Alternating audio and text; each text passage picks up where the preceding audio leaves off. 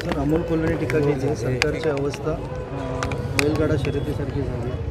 आणि आम्ही शेतकऱ्यांचे प्रश्न केंद्रस्थानी ठेवून येत्या निवडणुकांना सामोरे जाणार हे जे सरकार आहे हे सरकार जे आहे ते सर्वसामान्यांचं आहे. या ठिकाणी शेतकऱ्यांचे प्रश्न असतील कष्टकऱ्यांचे असतील सर्वसामान्यांचे असतील. या सगळ्यांना सोडवण्याचं काम जे आहे ते सरकार या ठिकाणी करतं आहे आणि शेतकऱ्यांना याच्या अगोदर जेव्हा महाविकास आघाडीचं सरकार होतं किंवा कुठलंही सरकार असेल तेव्हा फक्त शेतकऱ्यांच्या तोंडाला पाणी पुसण्याचं काम या ठिकाणी केलं.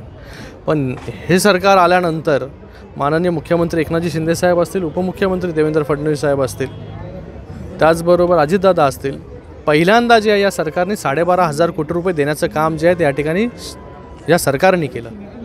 त्याचबरोबर एन डी आर एफचे सगळे निकष बाजूला ठेवून जे आहेत ते या ठिकाणी आपण शेतकऱ्यांना मदत जे शेतकऱ्यांबरोबर उभं राहण्याचं काम जे आहे ते सरकारने या ठिकाणी केलेलं आहे. मला वाटतं टीकाकारांना आणि विरोधकांना आता दुसरं काही राहिलेलं नाही आहे. त्यांचं आज अमोलजी कोले यांनी आपल्या मतदारसंघामध्ये येणारी निवडणूक कशी जिंकणार ह्याच्यासाठी प्रयत्न केले पाहिजे. टीका टिप्पणी करून काही होत नाही. हे आजच्या गेल्या काही दिवसा अगोदर झालेल्या ग्रामपंचायतीच्या निवडणुकीने दाखवून दिलं.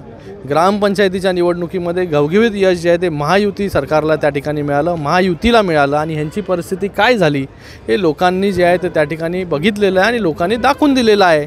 तर येणाऱ्या काळामध्ये जे आहे लोकांसाठी आपण काम त्या ठिकाणी करा टीका टिप्पणी जे आहे हे करण्यासाठी पूर्ण आयुष्यात येणाऱ्या निवडणुकीमध्ये आप